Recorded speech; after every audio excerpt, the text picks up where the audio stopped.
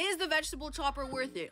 Who knows? Honestly, it's everywhere on my feed right now. It's supposed to be a time saver, and the design and the handle are supposed to give you better stability. But is it a must-have gadget? Let's test it. It arrived quickly, and I paid $31.63 all in. These are all the pieces, but no instructions. So I'm only testing the dicing blade this time. It was pretty easy to figure out, and I got the chop technique down quick. I am kind of surprised I don't have more cut fingers with the amount this thing slipped, though. Okay, so to test the time saver claim, I decided to make a garden salad by hand. Chop! Done. I'm fed up already. Using the chopper should be much faster, right? Well, it was. Two times faster, but messier too. Now, as someone who has zero culinary skill, I did appreciate how uniform this looked. Can you tell which one's mine? Good scoopity scoop. It made the salad even taste better to me. I just choked on a carrot. But then I had to clean the thing. My worst nightmare. Is it dishwasher safe? No. No, it's not. And compared to cleaning a cutting board and a knife, this took way too long. So is this a must-have gadget? No, I don't think so. I mean, it could be a nice-to-have gadget if you want perfectly diced veggies. Pop it or chop it. Oh my god, did I just cut my hair?